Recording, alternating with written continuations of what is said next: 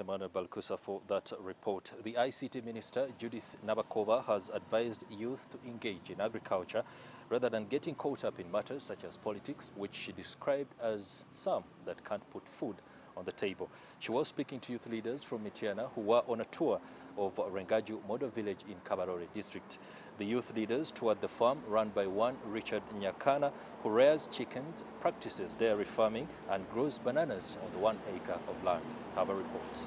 Nabakooba said the NRM government's target is to build a population that is not just served with politics, but one that is solution-oriented.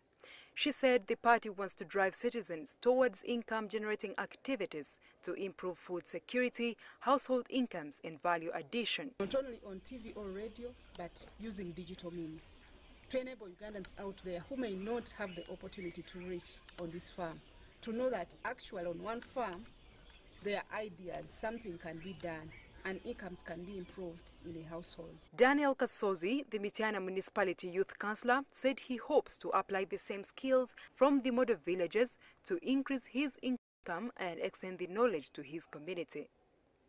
Similarly, a production team from Masindi visited a farmer from Harugongo sub-county in Kabarole district to learn how coffee can be grown within a banana plantation, post-harvest handling and value addition in order to eradicate poverty in their communities.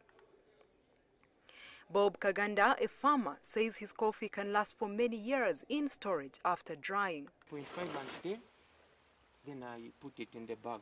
Hata nobogwahora kumala emyaka ikumi gusigara. But when you do uh, even this, but when you remove this one, okatunga green, it should not go beyond three months. Cosmas Byaruhanga, the Masindi District LC5 chairman, said Masindi farmers have been involved in many government programs, but they have failed to get out of poverty, which has pushed the production team to visit Kabarole farmers to see how it is done.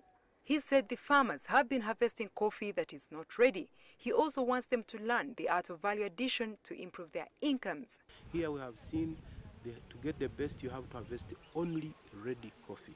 And then we have not been adding any value to it. But here we have learned that there is value addition, you can process it even up to coffee for drinking. Job Yarhanga, the senior agricultural officer of Masindi district, requested the government to support in training of banana growers so they can adopt the same technologies applied in Kabarole farmers. Can adopt and get high income in the, the same areas of banana production. Emmanuel Tumwizere, the Rwenzori Region Coffee Extension Officer, advised farmers to always harvest only red berries and dry them on raised ground so they can get good quality coffee. When you harvest good coffee, red ripe uh, cherries, please make sure that you dry or either on raised platform uh, or you can dry on tarpaulins. It is recommended. He hopes that the tour was a big source of knowledge for the farmers. Story compiled by Doreen Nasima for the news in Kabarole district.